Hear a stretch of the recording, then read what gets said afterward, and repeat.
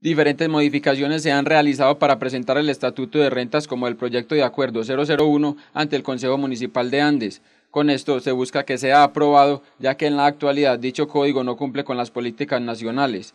Uno de los cambios es el uso de los suelos. Existe eh, una, una, falencia y es que no, no, hay demasiados usos en el estatuto eh, actual.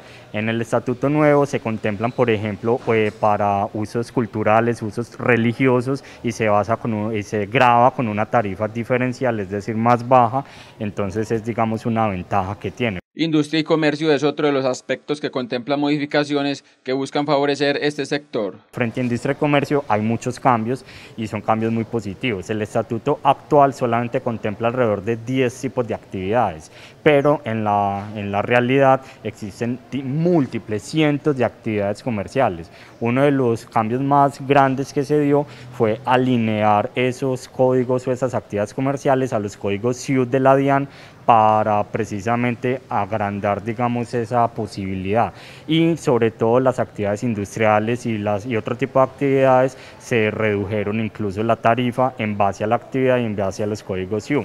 Asimismo, se busca unificar algunos cobros de diferentes entidades territoriales para facilitar los trámites a los ciudadanos y a la vez pueden reducir gastos de posibles desplazamientos. También tiene un capítulo entero de régimen simple de tributación, que es una apuesta de orden nacional que lo que busca es evitar que un contribuyente tenga que ir a diferentes entidades a pagar diferentes impuestos. Es decir, actualmente un contribuyente, como ustedes sabrán, tiene que pagar al municipio, al departamento, tiene que pagar el IVA, digamos, a la DIAN y diferentes impuestos de diferentes territorios. Lo que busca eh, el régimen simple de tributación es que ese contribuyente pueda con un único pago a la DIAN cubrir como con todas esas obligaciones tributarias y posteriormente la DIAN hace la, repartición de, esos dineros pues a las entidades eh, eh, correspondientes. Desde la administración municipal esperan que dichas modificaciones sean del agrado de los ediles y que el estatuto sea aprobado. Nosotros tenemos la total esperanza de que el Consejo vea todas estas bondades